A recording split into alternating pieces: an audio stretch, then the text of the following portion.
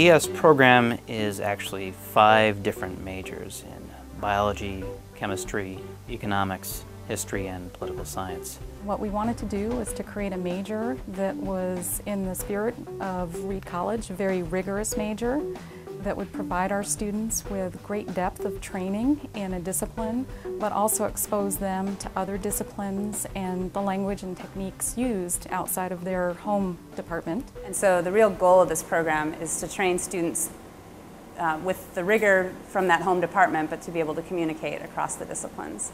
And so what we want to do is train a chemist who's adept at speaking to policy trained uh, people or a political scientist who can understand the science.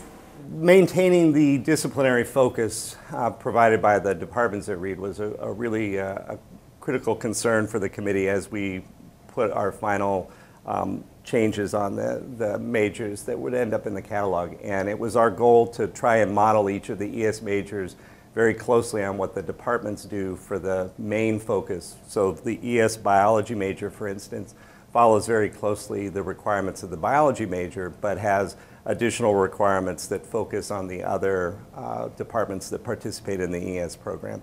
So in that sense, the, the majors for the ES major are really um, very disciplinary in the foundations they provide. Interest by students and also faculty feeling that uh, Reed could really benefit from uh, an attention to the environment from different academic disciplines.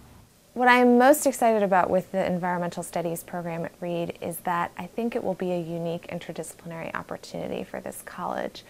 It is, uh, I think, the only interdisciplinary program that bridges math and natural sciences and history and social sciences. And I'm really excited for the kinds of collaborative work uh, that the students will do with the faculty and with one another. I'd say that the most unique aspect, at least as far as Reed goes, is that we're going to have a required junior seminar, uh, which will be an interdisciplinary team-taught course with someone from history and social sciences and someone from math and natural sciences in the same classroom at the same time. Because environmental problems are going to confront the public, it's a very important role of environmental scientists, and I'm really uh, pleased that Reed's program is going to be able to train this uh, to be able to talk to the public about these complicated environmental issues.